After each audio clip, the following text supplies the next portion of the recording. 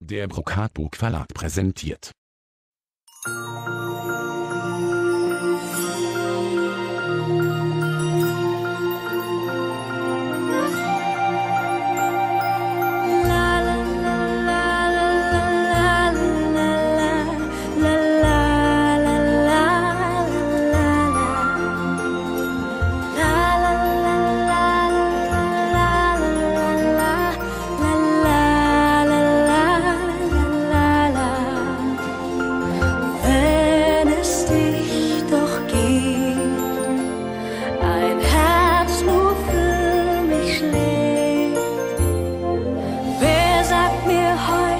was morgen noch zählt, wird die Welt bald neu geboren.